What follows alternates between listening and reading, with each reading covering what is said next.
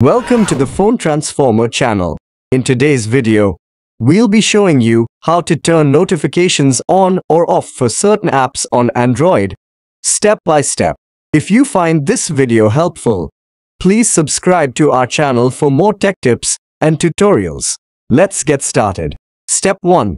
First, open the Settings app on your Android device. This is where you can manage all your device's settings. Step 2. Next, tap on Apps and then select Manage Apps.